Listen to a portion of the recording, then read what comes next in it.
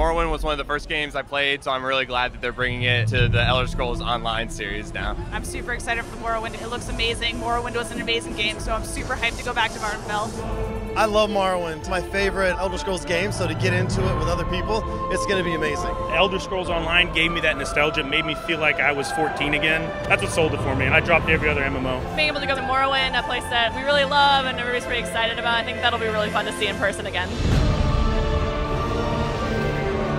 It's a pretty surreal experience to be working on Morrowind again 15 years after the first Morrowind.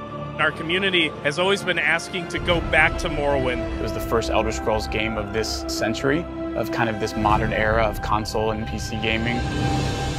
The part of the world is very nostalgic and players remember it from Elder Scrolls 3, but we have our own spin on it. We're 700 years in the past, so it gives those experienced Elder Scrolls players a chance to see this area in a different time with different stories and characters. That's the best way to introduce it as a new chapter of Elder Scrolls Online.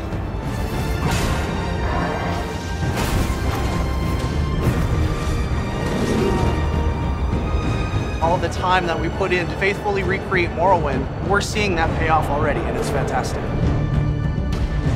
I am super duper stoked. I'm really, really excited to play it. There's just so much content. The freedom of playing in it, that's what I like.